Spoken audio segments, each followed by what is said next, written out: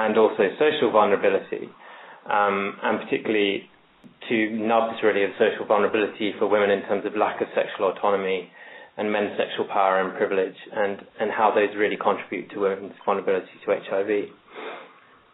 And as we're all very familiar with this, it's been it was both radical, but also it's been incre- incredibly successful in moving us from understandings of individual risk to structural influences, and understanding how a whole series of different things influence vulnerability and risk in different ways through different mechanisms. And it's been successful in that we can think of a whole uh, of a range of interventions which have come out from these complex understandings, so female-initiated methods such as microbicides, as well as access to education, microfinance initiatives. So, having said that, increasingly there's been a reflection upon the differences in the way we approach understanding HIV risk in women in comparison to men. And I've put a, uh, a reference there at the bottom, um, Higgins, Hoffman, Dworkin, of a, of a very good paper which sums up some reflections upon the differences in the way we approach understanding HIV risk between men and women. And these authors talk about really how they consider that there's been an inadequate conceptualization of how structural factors and social vulnerability influence men's vulnerability to HIV. Uh, that in a lot of literature and intervention, even that men are, are portrayed as unaffected and invulnerable. There's still a predominance of biological essentialism. In one journalist during the 2006 International AIDS Conference in Toronto wrote that changing the behavior of African men is probably hopeless, and so it's better to focus on working with women because it's more likely to bring about change. And it's the idea is that both it's incredibly difficult to work with men and also that there's a certain um, innateness about behavior which is difficult to change. And as a result, we can think about the ways in which men have not been given the skills or tools to protect themselves and their partners from HIV. When we think about interventions with men, we can think about, again, the, the um, predominance of biological ideas and biological, biomedical interventions such as male circumcision, condom distribution and knowledge-based uh, interventions, although increasingly we can say that there is some change to more complex understandings. So really the challenge is to think about the ways in which biology, social structure and gender relations lead to complex complexities in men's risk of HIV. And increasingly there are calls to understand the structural factors and the ways in which social vulnerability impacts upon HIV, HIV vulnerability for both men and women, but for different reasons and through different mechanisms. And while making this point, it's still key to say that maintaining a focus upon men as participants in a system of gender inequality is, is really important. It doesn't negate any of any of that. That is an important thing to be working on but it says perhaps we need to think in a bit more depth about the complexities of men's risk. So I'm going to talk about the study I did and how it tried to draw out some of these issues. Um, and so the focus of the study was really to understand the mechanisms through which structural factors shape the behavior of men in Dharavi, which is an area of Mumbai, India. The study was taking a firmly em- empathetic approach, understanding men both as gendered but also as emotional beings, and focused on three behaviors in particular, which were alcohol use, sexual behavior, and violence. So um, I'm going to talk today about the qualitative component of the study, although it was a mixed method study, which focused on upon married men aged 20 to 52 living in Dharavi. It involved in-depth in, individual interviews with 29 men and um, was supplemented with focus groups. And just to tell you a bit about the area where the research was carried out. So I was working with the Centre for Vulnerable Women and Children at Sneha, which is a large maternal and child health NGO in in Mumbai, and so they work pre- predominantly with women who are victims of intimate partner violence, and then also in the community, and increasingly we're wanting to work with men, and so we're very interested in the research. So they were very much partners in the research. So Dharavi is a very heterogeneous area. There's people come from all over India to migrate to Dharavi, and so you have people not only from different regions but also different religious backgrounds, different castes living in a very small space. And so there's a lot of migration. And although there's a lot of industry in Dharavi, it's predominantly characterized as being a low income area. And so there are a lot of issues over job insecurity, unemployment, and underemployment.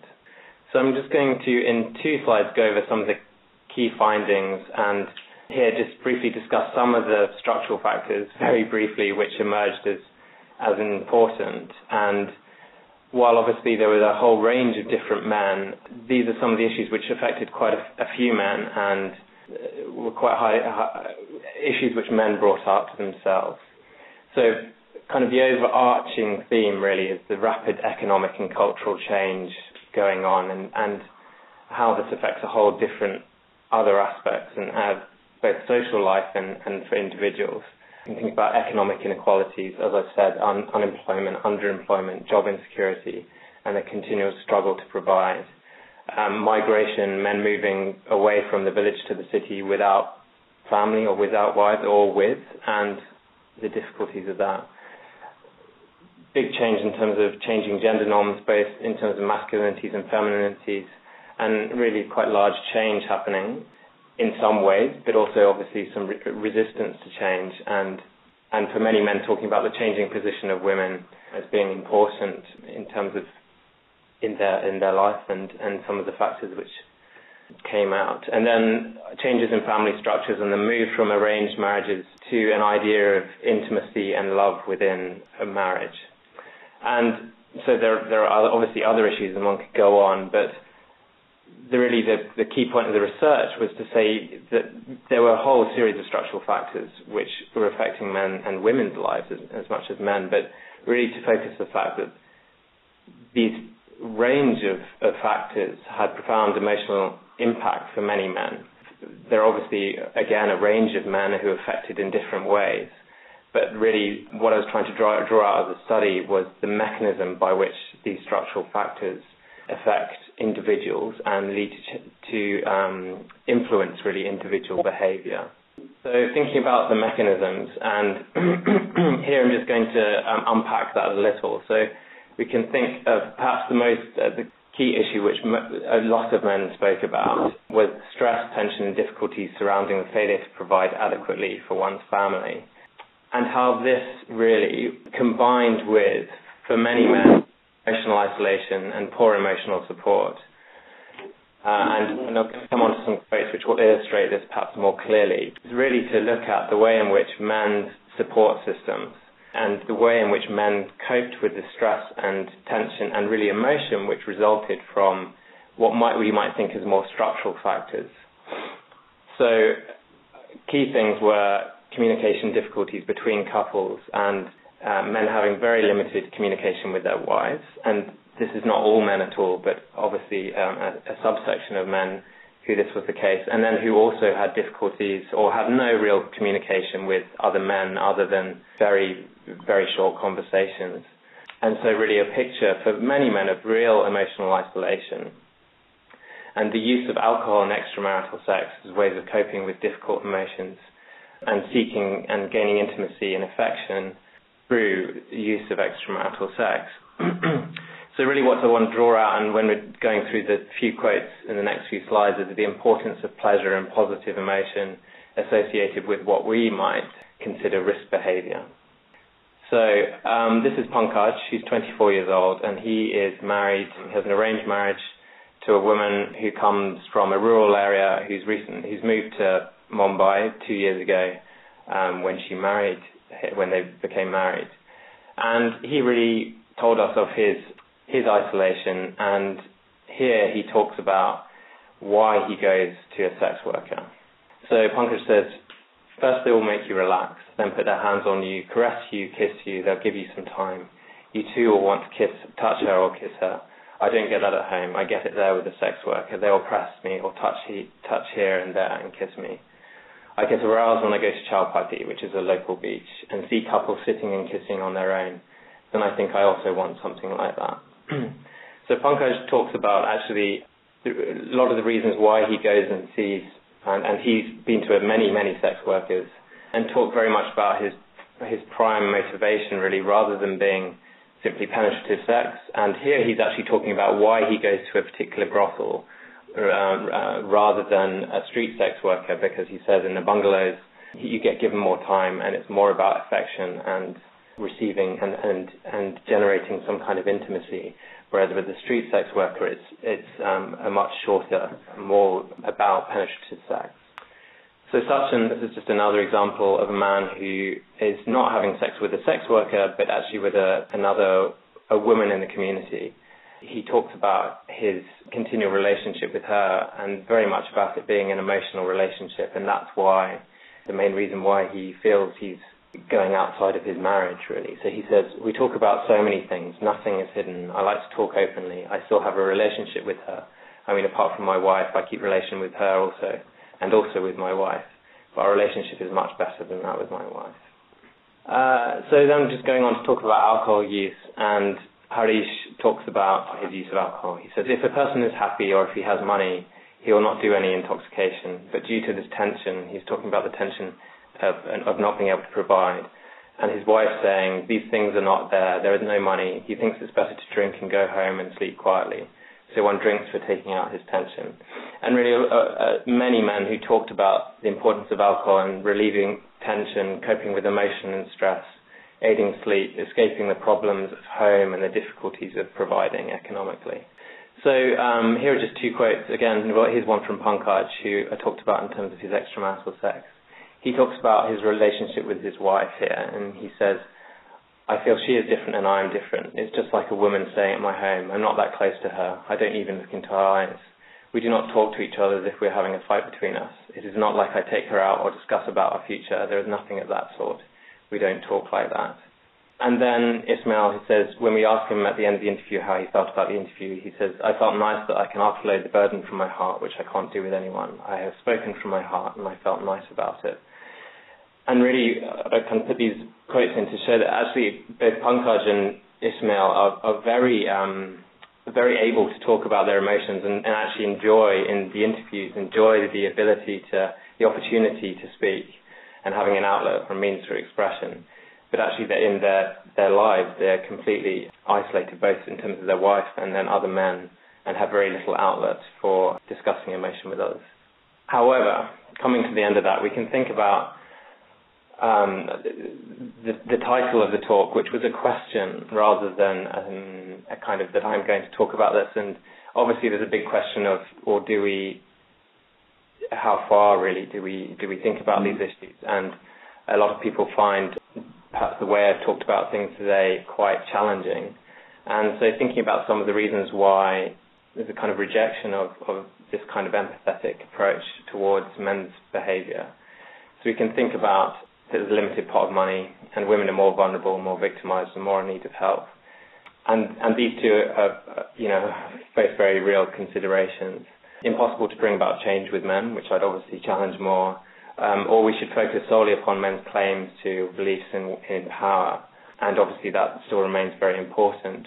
Or that this is a Western perspective, and the idea of emotion um, comes from perhaps more of a Western school of thought. But I'd want to make the argument here, really, um, if we go on to the next slide, that these things have implications for current interventions, whether we decide to go out and spend money working particularly with, with men in a particular way or not. If we think about many existing interventions, they involve changing couple dynamics. and so understanding how interventions affect men and change the relationship between men and women is really crucial in maximizing their success.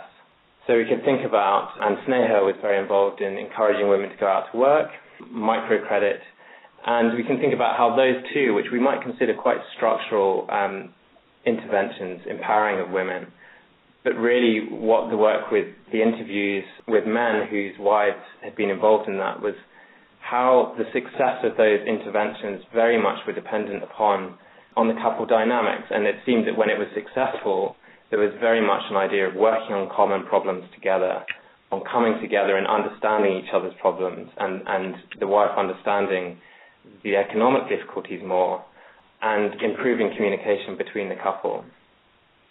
So we can think about in terms of existing interventions, and actually these things are going on, these complexities, and we really need to understand them. We can also think about getting men on board and engaging hard to reach men, and men who are use alcohol um, have real alcohol issues or who are visiting sex workers very regularly and how we engage these men. Um, and hopefully the next couple of slides will just demonstrate this a little. So this is Ishmael who talks about his wife going out to work, which Sneha encourages, and he used to he used to be violent. He was a perpetrator. He, was violent towards his wife.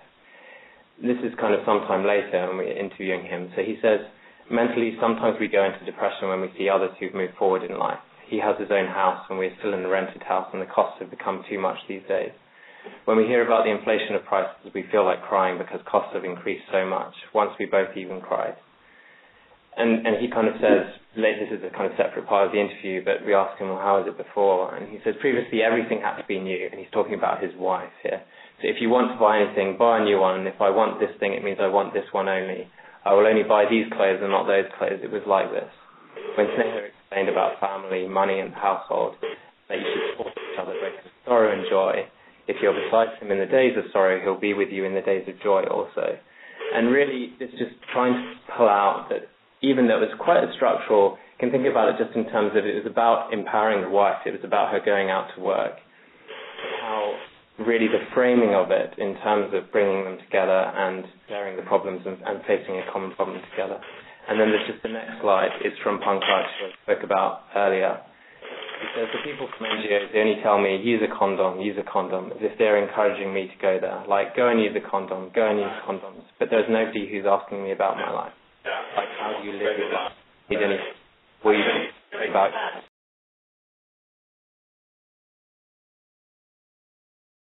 So just the final slide, um, a few conclusions. Um, firstly, saying we need to recognise the disparate ways we still approach understanding men and women's risk of HIV. Key to make the point that it's not about losing sight of the need to address gender inequality or challenging men's gender privileges. That still remains incredibly important. But it is in terms of saying we need better understanding of the ways in which structural factors affect men's vulnerability to HIV. And we rec- need to recognize men as both gendered and emotional beings and recognize the role of positive emotion and pleasure and how that relates to men's emotional um, experience when we think about what we might consider risk behaviors. There we go. Okay, thank you very much.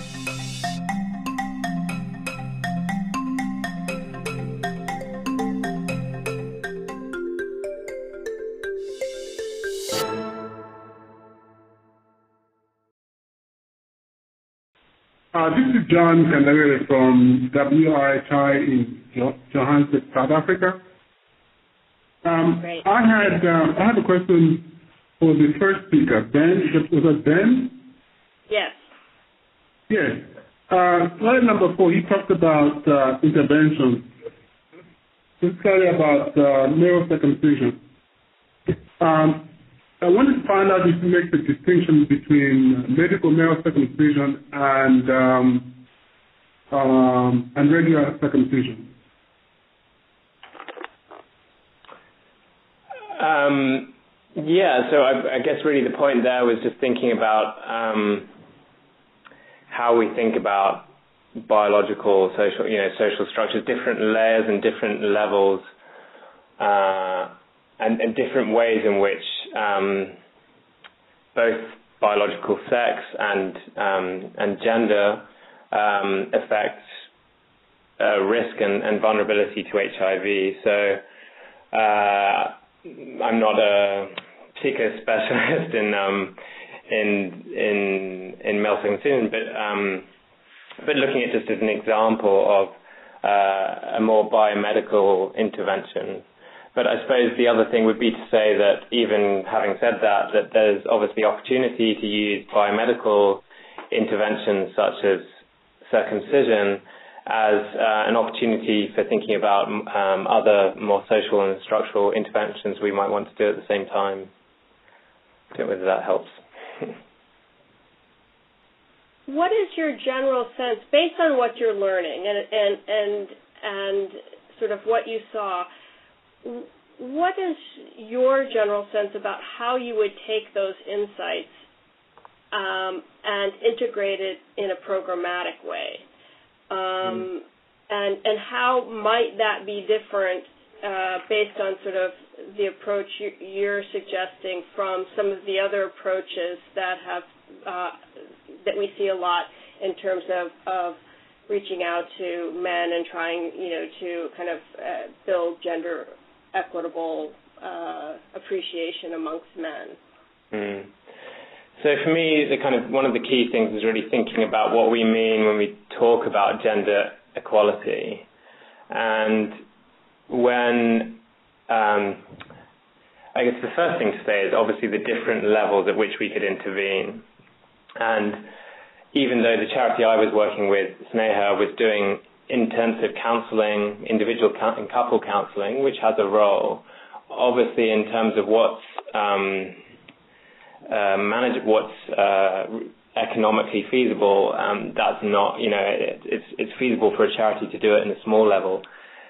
But really the important thing for me is thinking about how we think about these issues going upwards, if you see, or from from the emotional to back to more social structural issues. And so for me, it's kind of thinking about social norms, but around issues perhaps which we talk less about, which is emotional well-being and health among men. Um, so one thing is thinking that when we talk about masculine norms or masculinities or talking about programs with men, that while it's really important to talk about men's views of, about violence and men's views towards women, there are there are other issues other than those two issues, even though those are incredibly important and they need to be a fundamental, you know, the core part is, of any intervention with, with men is talking about their claims to power, beliefs in power. But the real issue for me is how if you sit down with a group of men, and this is Sneha's challenge, is what do you start talking to them about? or if you go into the community, what do you start talking about?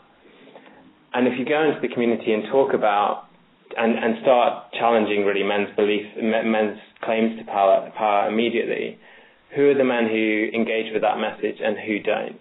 And if I go with them, as I did with to kind of White Ribbon Day events, um, and it's about norms around violence, does that change behavior or not? And thinking really whether we're continually talking to men who are non-violent, who don't use alcohol, who get the message, who are happy and want to be gender equitable and kind of aspire to being gender equitable, which is fantastic.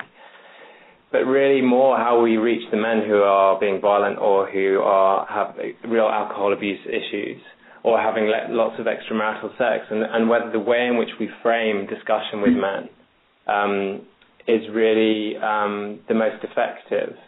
And so for me, the issue is about how we engage with different groups of men.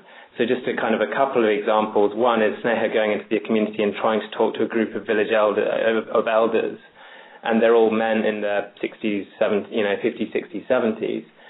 Beginning by talking about um, a woman who's experienced violence um, was incredibly difficult, and the men didn't want to talk about it and didn't recognize it as a problem.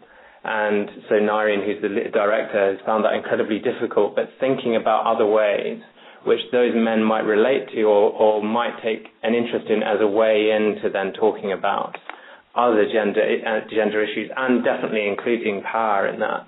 But so perhaps talking about alcohol use and men's alcohol problems with alcohol, which is very much related to, to use of violence, as a way in of talking to other uh, about other issues. Um, but for me, the idea is, is really having sat down, obviously, with lots of different men and, and witnessed conversations, is what are those men, how do those men frame their stories and frame their problems? Um, and given that many of these men are actually feel, feel their main feeling is a feeling of disempowerment, to start talking about challenging those men's power is very, is very, as the first thing or one of the main things you talk about, is very difficult. And so it's framing it in a way which you you're just recognizing the position that man is in, and and by doing that, kind of um, gaining more of a, a hook in really, rather than men being able to dismiss it as saying, "Oh, this is not relevant to me. I don't, you know, this isn't relevant to my situation." So for me, that's the kind of core of, of just of looking at how emotion and emotional experience really men um, is, is a way in of thinking about work with men, future work with men. I, guess one of the things that comes across to me in your uh, quotes is how some of this seems driven, or at least the narrative that men give, is that what drives them into to, to drink or what drives them to ha- have see sex workers and things is is not having a good relationship or communication or intimacy in their primary relationship. Yeah. And I'm wondering whether or not you what do you feel is the opportunity, any, to start the discussion not just with men, but sort of not necessarily with couples as couples, like couples counseling, mm-hmm. but to basically start the discussion about in single sex groups and then in joint sex group, groups about you know relationships and and couples and communication and and sort of that as an entry point um, mm. or do you think that um, you know I, I guess that's you know do you think that w- might be a possible point of entry for these discussions as well yeah, absolutely. I mean, so, so the interesting thing is that a lot of the men spoke of wanting more intimacy with their wife, both in terms of sexual intimacy and also emotional. Um, and obviously, there are a whole load of barriers around in terms of femininities and feminine norms, which made it very difficult for women to engage with a lot of the discussions, really, which men were wanting to have. But obviously, there, there, there must be many issues. This is a study which is limited by speaking only to men, but similar issues really for um, and a whole range of issues for, for women over communication in the relationship. Um, but I suppose the other the thing to say is that there were good examples of change and being brought about by Sneha, and the way in which getting the family to sit down together every day at the end of the day for 15 minutes is a very kind of clear intervention and sit down and ask each other how your day was and what happened. Um, and one man spoke about the importance of that in com- in combination with decreasing his alcohol use. Um, but really, the, the main thing there is is, uh, is the ability to empathize with others and empathize with your wife and understand her problems and issues as well as your own. Um, and that really came across very strongly as in, in the very strong relationships um, that men had a good uh, were very much empathetic towards their their wives, and so how you kind of um, build upon that and the importance of that, and perhaps that's much more complex in terms of how we bring up boys um, and how boys are brought up. Um, but that there is possibility for change and that it's kind of wanted. There's a, there's a, a desire for change. Um, but thinking about ways in which you can bring that about. But yeah, absolutely, that's a very, very fertile area for intervention.